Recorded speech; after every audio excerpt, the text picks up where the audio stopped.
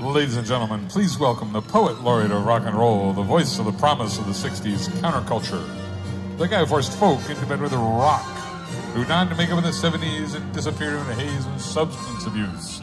who emerged to find Jesus, who was written off as a has-been by the end of the 80s and who suddenly shifted gears,